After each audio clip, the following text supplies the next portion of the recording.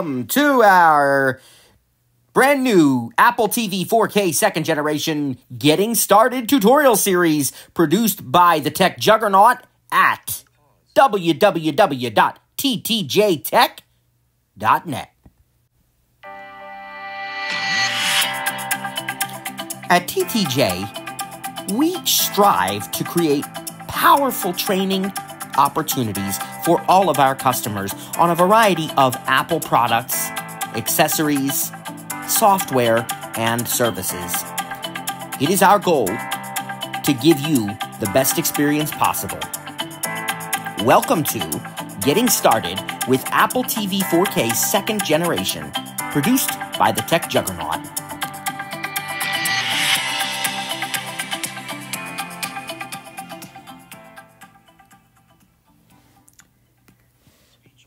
My friends, welcome. I'm Trainer Matt of TTJ Tech, the tech juggernaut. And we are absolutely thrilled to be introducing you to the brand new Apple TV we are focused on learning to use the Apple TV with voiceover. And so, when conducting a training session such as this, it is necessary for us to make a few assumptions. First and foremost, we're going to assume that you find it necessary to use the Apple TV with the voiceover screen reader. If you do not wish to use the Apple TV with voiceover, we do have many other resources available to you that offer a non voiceover perspective on using this device. We also need to assume that you are able, in one way or another, to access the Apple TV user guide produced by Apple.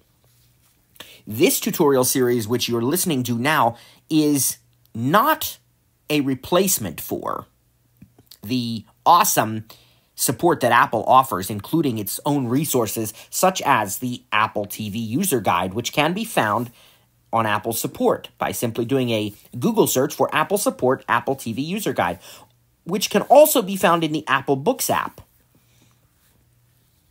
Instead, this tutorial serves to provide additional information for those wishing to use the Apple TV with VoiceOver. The first thing we'd like to do is to talk about basic setup, and then we will get oriented to the new Apple TV Siri Remote second generation.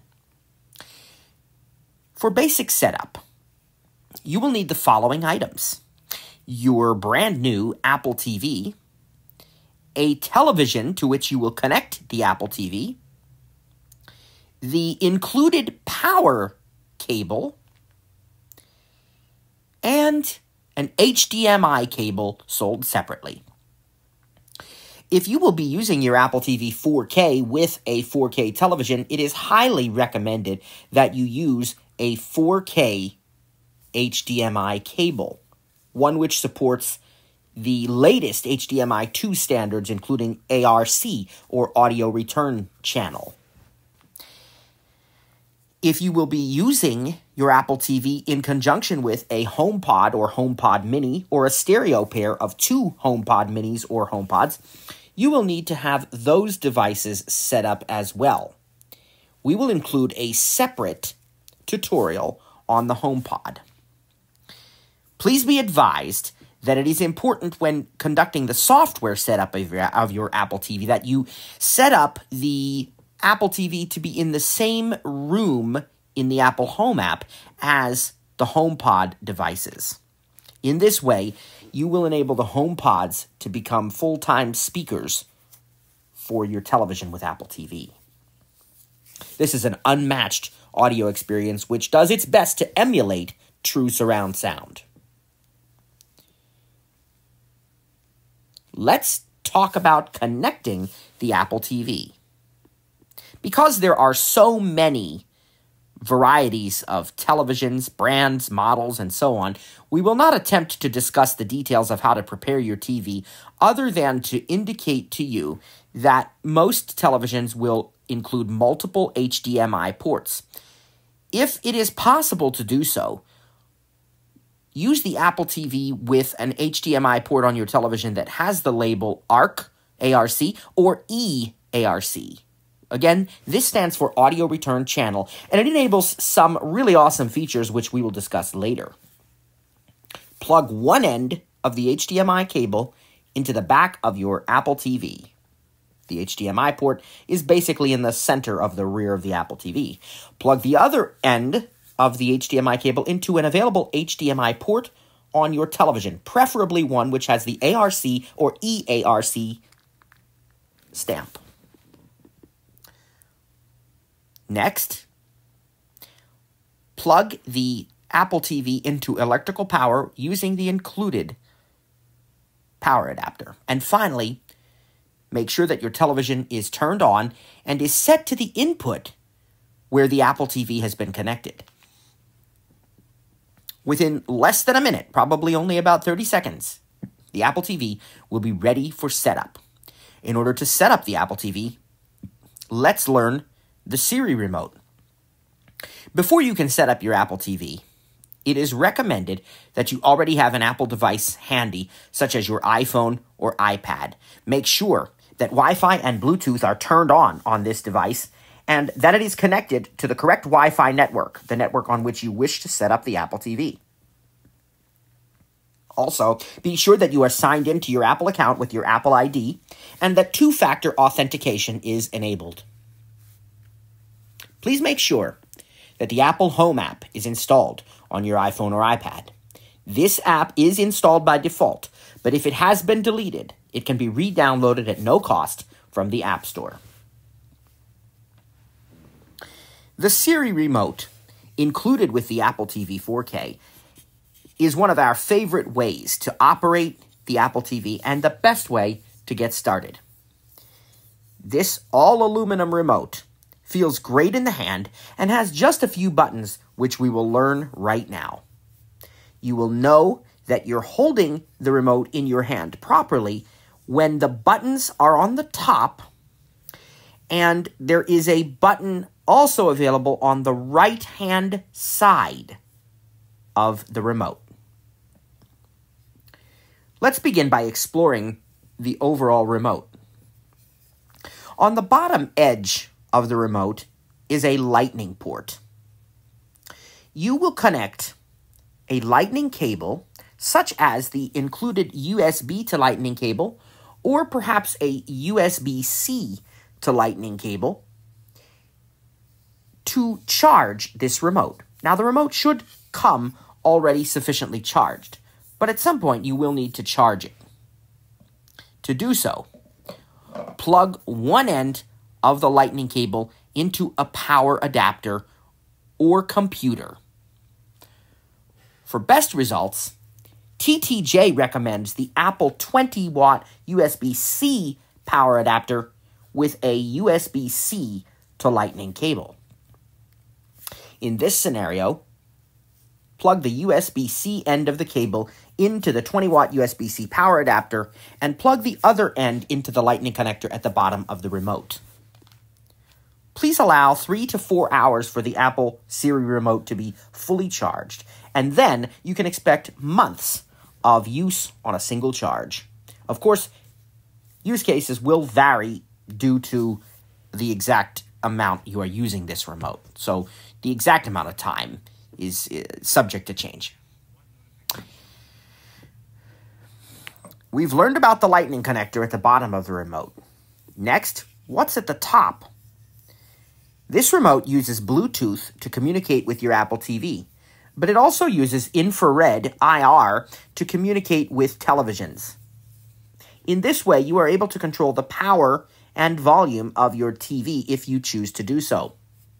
If you will be using HomePods or HomePod Minis as speakers for your Apple TV, the volume buttons will control volume on the HomePods, while the power button will continue to control power on your television.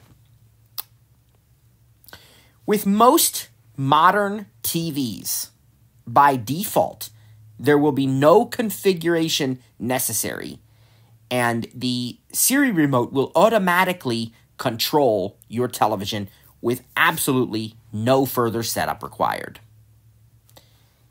If additional setup is required, this can be done later in the Apple TV settings. The power button. At the very top edge of the remote, on the main surface just above the click pad, which we'll learn about shortly, and just below the IR port on the top, you will find a round button, just a small circular button, set apart from anything else. The top right corner of the remote. This is your power button. Press and hold this button for two to three seconds to turn on or off your TV and other components. The side button. Moving to the right side of the Siri remote, you will find a long button. This button is your Siri button. Press and hold this button to talk to Siri. Release the button when finished. If you are in an edit field, such as a username or password field, you can also press and hold this button for dictation. It is recommended that email addresses and passwords be spelled. When a capital letter is needed, say the word cap or capital. When you are finished dictating, release the button. Other buttons. The top of the remote, moving down from the upper right corner power button to the click pad, which we will discuss shortly. Below that, you have a couple of rows of buttons. The button on the top left, which feels ever so slightly indented, is the back button. This button, as its name suggests, will take you to previous screens, will bring up menus, and will eventually take you back to the home screen. You can press and hold this back button to immediately be taken all the way back to the home screen. Press the button again to turn on the screensaver. Press it yet again to turn the screensaver off and be returned to the home screen. Note that the back button also serves as the accessibility shortcut. When you initially plug in the Apple TV and it powers up, you can triple click this button to immediately turn on VoiceOver so that VoiceOver is ready to use during setup. Once you have done this, this also automatically sets the accessibility shortcut to VoiceOver for all future use. So anytime you wish to turn VoiceOver on or off, you can simply triple click this back button. Note that if you do not use VoiceOver during initial setup, it is then necessary to go to Settings, Accessibility, and to the accessibility shortcut option to manually enable this for VoiceOver.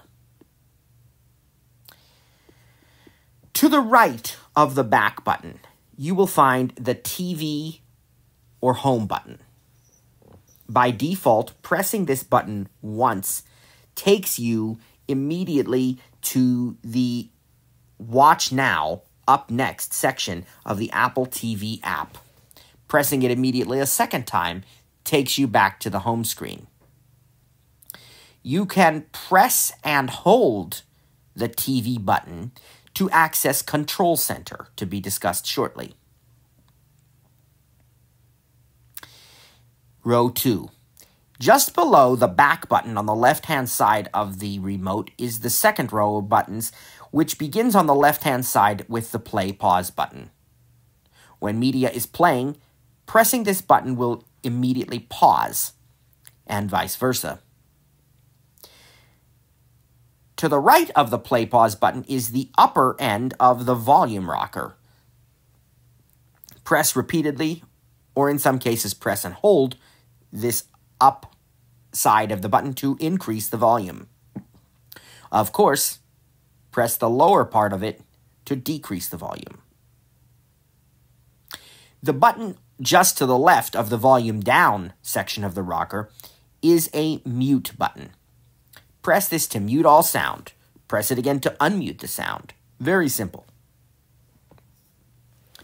That is the entirety of the button layout of the Siri remote. So how is everything else controlled?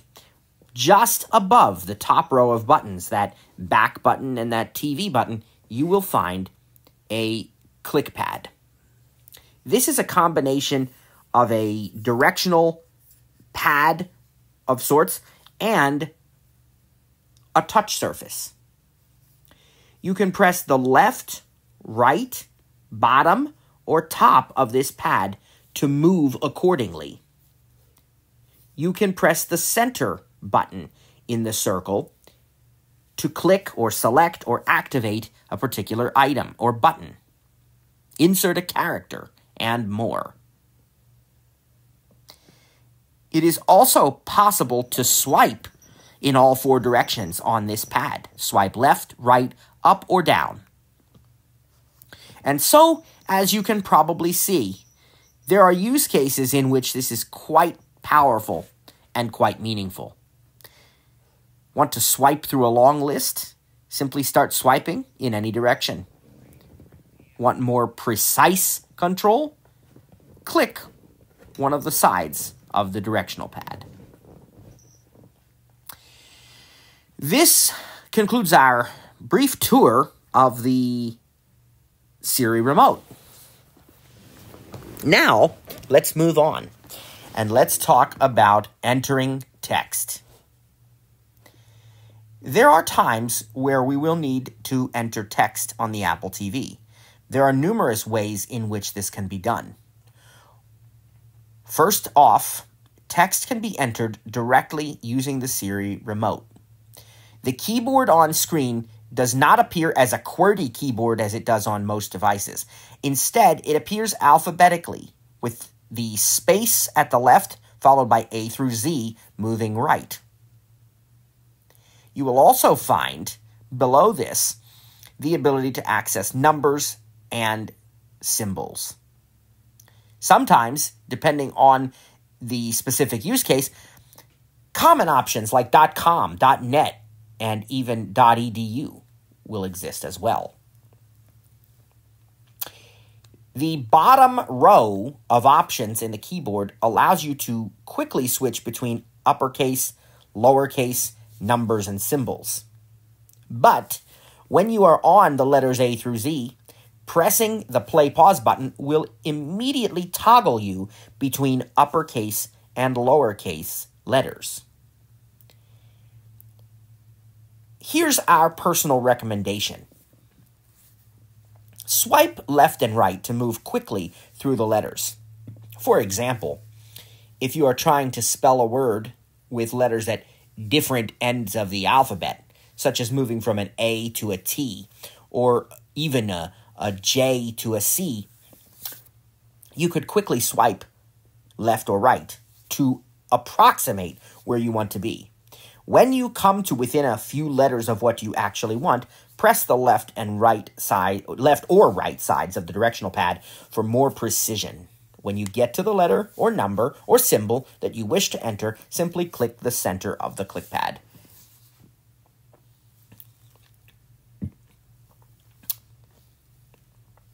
That's how easy it is.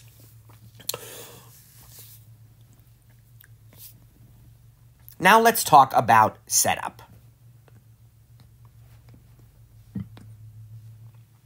We recommend using your iPhone or iPad during setup. This enables automatic setup.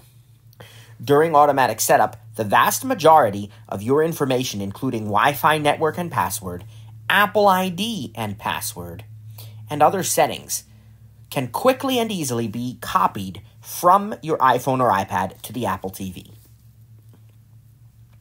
The first step in setting up your device is to make sure that the TV is on and the Apple TV is connected and plugged in as described at the beginning of this tutorial. After about 30 seconds to a minute, on the screen will be a prompt asking you to click the center button to complete the pairing process of the Siri remote with your new Apple TV. Simply click once the center of the clickpad.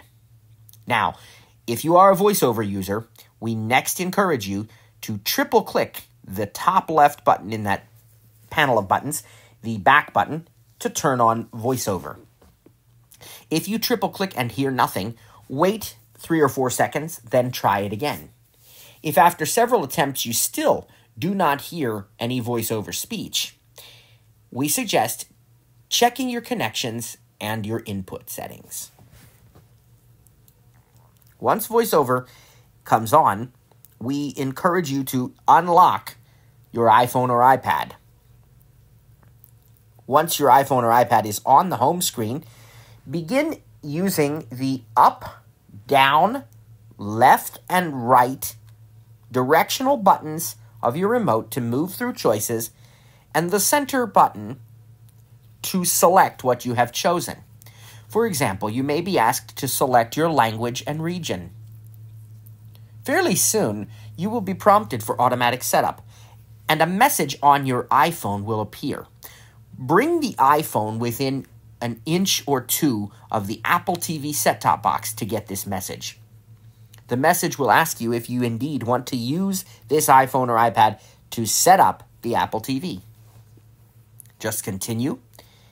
If prompted, enter the code and continue to hold the iPhone or iPad device near the Apple TV itself. After a few minutes, the settings are copied and you are good to go. A few more choices will need to be made using the Siri remote. Again, press the directional buttons to move through the available options, and when you come to the option you want, press the center button on the directional pad to select the option.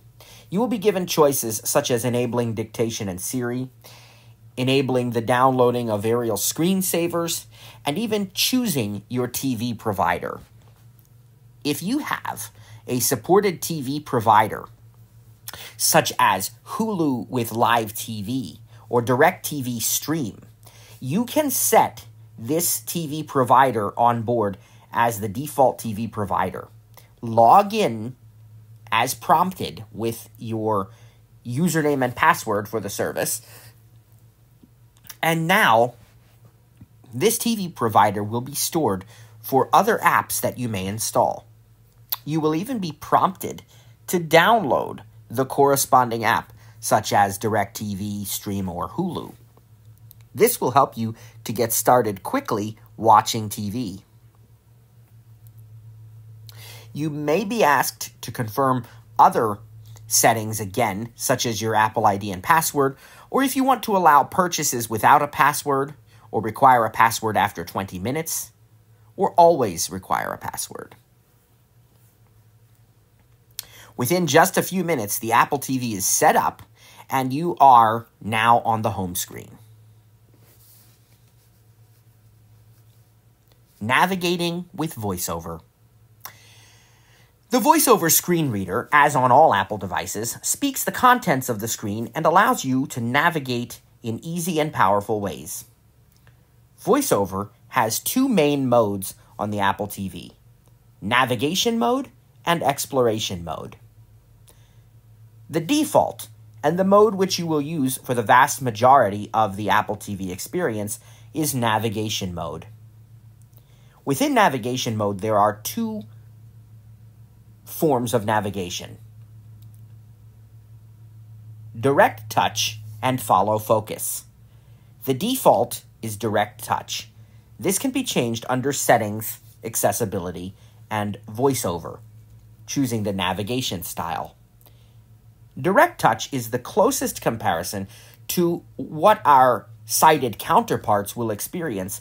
And on the Apple TV, it works great. Since we're not touching the screen, we're always using a, a, secondary means of navigation, and we can easily do things in exactly the same way. Follow focus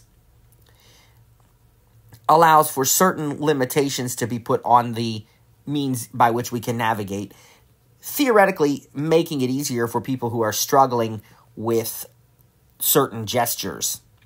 For most people, TTJ believes that the default direct touch navigation style will be great. In navigation mode, using direct touch navigation, you can press any one of the four directional buttons, and you can also swipe in any direction up, down, left, or right. For example, the home screen icons are set up in a grid, much as you would see on your iPhone or iPad. To move down to the next row, you can press the down arrow or swipe down.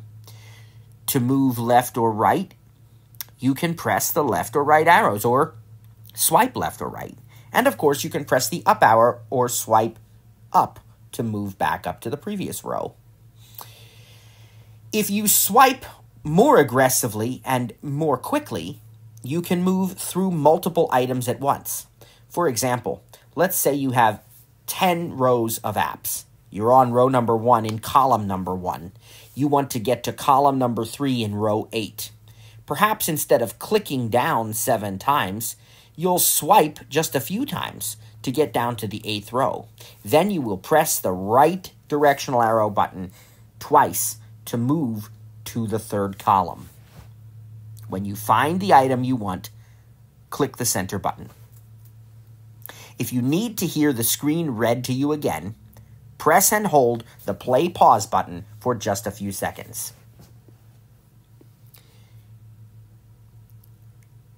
During media playback, as media is playing on your Apple TV, such as a movie or TV show, you can often click the left or right directional buttons to jump back or to fast forward by approximately 10 seconds.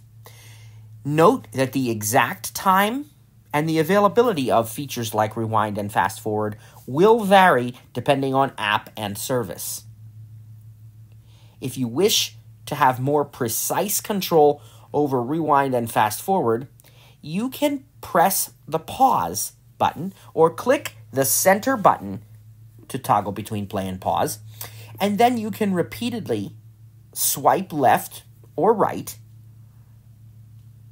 or in some cases, press the left or right arrows, either repeatedly or with a press and hold. Note that some apps do not allow swiping to rewind and fast forward, but instead use these gestures to change the channel. You can press the down directional arrow button or swipe down in most cases of media playback to bring up a menu of controls. For example, the option to choose subtitles and captions, to choose from a described audio track or a regular track or to change the language, and to choose other audio and video settings. In some apps, this downward click or downward swipe will display the option to bring up more episodes of the currently watched show. In other cases, you will be able to see info or even display additional options like picture in picture. Yet in other apps, you will even have the options to record what is currently being watched or to restart the currently watched program from the beginning. Some apps also support a swipe up gesture during media playback. This swipe up gesture can be used to enable picture in picture or in some cases to bring up a live guide. We strongly suggest that you try various click options and gestures, such as the ones we've just described, during media playback in different apps and with different channels and services.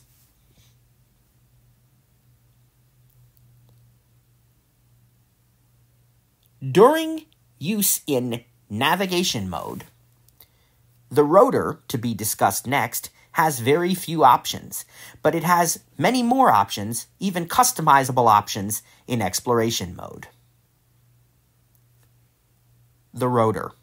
The rotor is a virtual control for voiceover users, which is accessed by placing two fingers on the touch surface click pad and then rotating those two fingers right or left, clockwise or counterclockwise, as if you were turning a dial.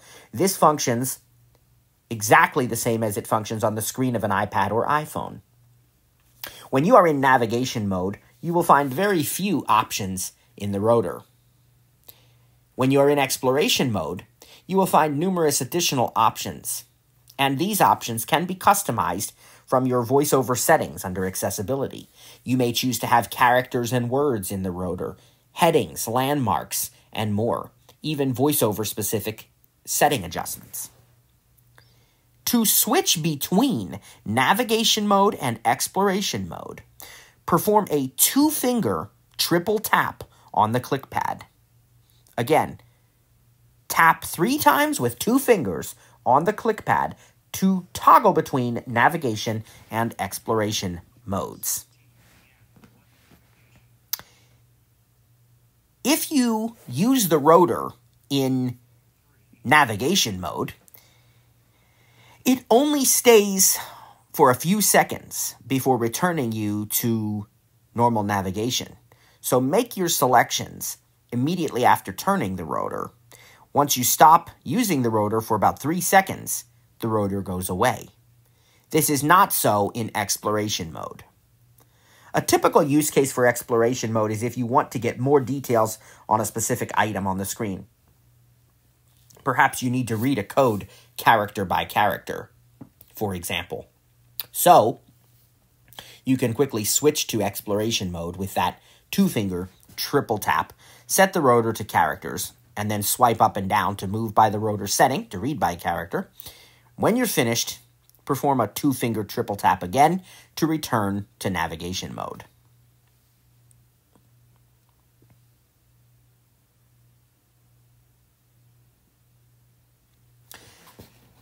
This brief overview has been presented to you to help you get started using your Apple TV with VoiceOver. It is very important that you access the rest of the materials we've suggested, such as the Apple TV User Guide.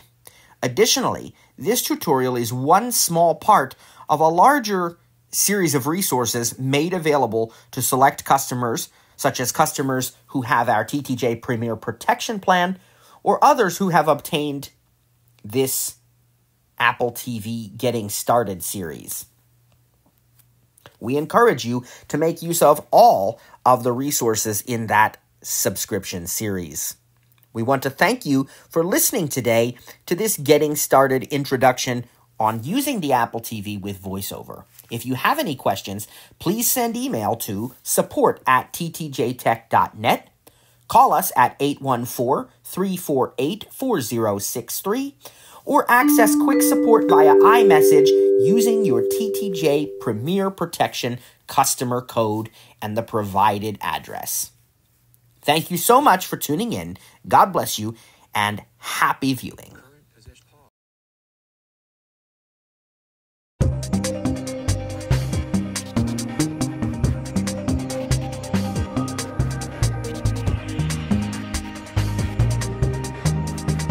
Do not forget to like, subscribe, and hit the notification bell. And if you'd like, leave a comment. Come back soon for the next installment in TV for the 21st century.